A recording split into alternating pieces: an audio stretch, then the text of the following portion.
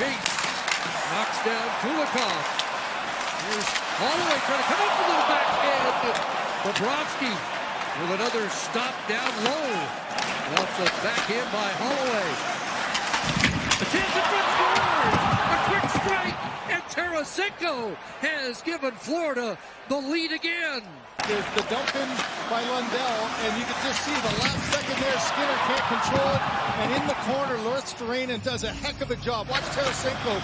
You know, the Oilers D are going out thinking that they have control, and instead, it's Luostarinen making the play, and Tarasenko with a big goal there. Out in front, Tkachuk could pull the trigger. Ekman Larsson shoots it wide.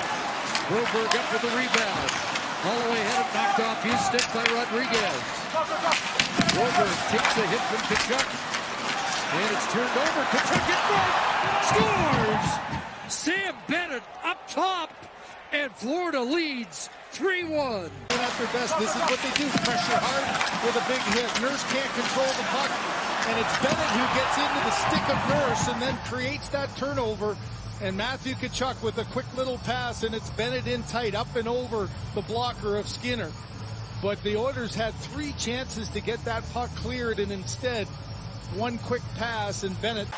Foegele with Draisaitl and Terry. Working along the boards. Mikkola plays it to the near corner. Reinhart on it to hit to Barkov and ricochet to Rodrigues. Barkov scores on the rush, the captain, and it's 4-1 Florida. And it's a forecheck. Three Oilers deep underneath the dots, and then it's the play by Ekholm. He stood in there instead of backing out, and Rodrigues with a nice little chip pass to the middle.